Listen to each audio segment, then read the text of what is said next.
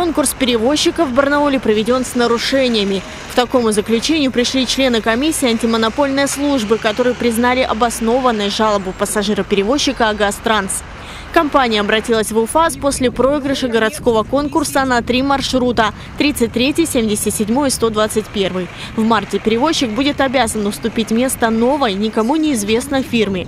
По мнению сотрудников «Агастранса», результаты конкурса были сфабрикованы. Сотрудники антимонопольной службы провели проверку и установили, нарушение в конкурсе допустил как Комитет по транспорту города, так и сама комиссия. По словам замруководителя краевого отделения ФАС Сергея Скорика, положение о конкурсе было составлено некорректно, и в результате возникла правовая неопределенность. В частности, не указаны дополнительные документы, которые перевозчик мог бы предоставить. Кроме того, в положении не прописано, нужно ли к моменту проверки устанавливать в салонах авто дополнительное оборудование или достаточно лишь договора о намерении это сделать.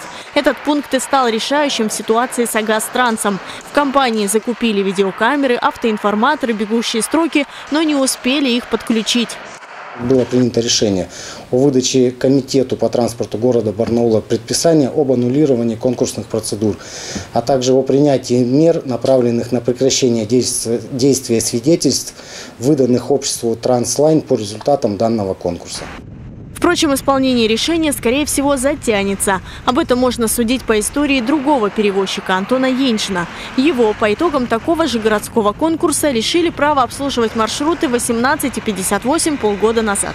ФАС также встал на сторону компании, но городской комитет с предписанием антимонопольщиков не согласился. Чиновники обратились в суд.